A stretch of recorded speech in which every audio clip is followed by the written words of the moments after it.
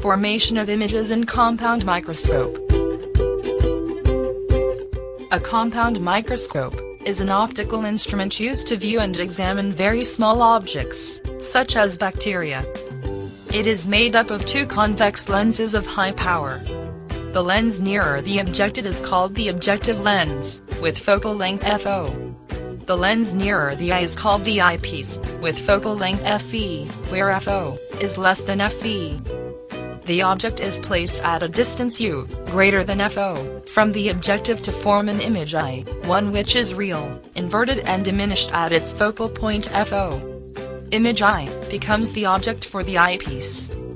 The eyepiece is adjusted until I1 is nearer to the lens than its focal length, thus, acts as a magnifying glass to produce final image I2, which is virtual, inverted, and magnified.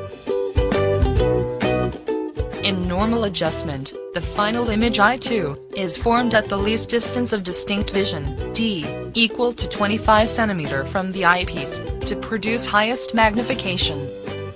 The following is the magnification M of a compound microscope. The magnification M of a compound microscope can be calculated from the following formula, where MO equal to magnification of the objective, and ME equal to magnification of the eyepiece.